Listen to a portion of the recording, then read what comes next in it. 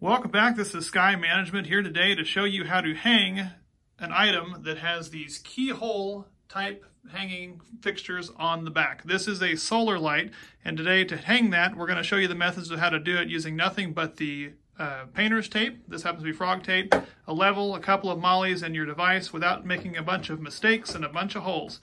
So the first thing we're going to do is you're going to take a level, put it on the wall, Make sure get nice and level and then mark a line similar to the object, preferably a little smaller than what it is that you're going to be hanging. We're using a Sharpie here just so that you can see it on camera, but you'd probably want to use a pencil at home.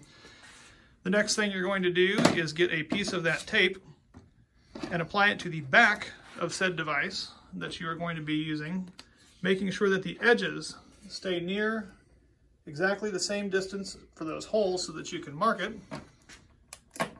This will allow you to keep it level. Then we're going to take that and mark the tips of those. Then when you simply peel that tape off and apply it to your line, you then know that that tape and the holes are perfectly level. You know exactly where the screws need to go. And now you can mark your holes by either with the pencil or since we're using mollies, what we're going to do is take the screwdriver and make a hole and punch that in for those mollies so that they'll slide in. This will anchor it in a little better.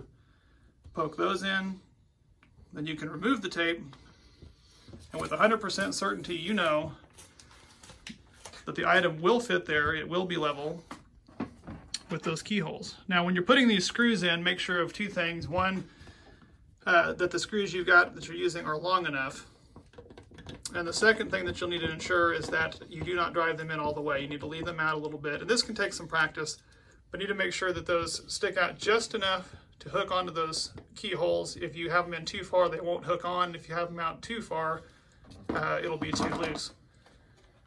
Whenever you're hanging hidden shelves is a big one that people come up with doing this.